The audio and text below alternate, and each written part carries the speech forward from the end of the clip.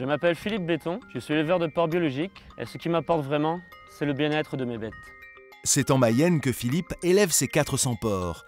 Attentif à leurs besoins, tout est mis en œuvre pour que ces porcs se sentent bien.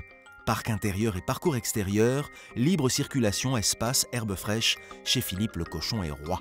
Pour moi, le bien-être de mes cochons, c'est qu'ils puissent être en liberté de vivre en troupeau dans mes vertes prairies et ensuite euh, d'être nourris à partir d'aliments sains. Mes cochons sont nourris tout naturellement à partir de mes récoltes, issues de, donc de mes terres, conduites en lecture biologique, c'est-à-dire sans pesticides, sans engrais chimiques, donc sans OGM.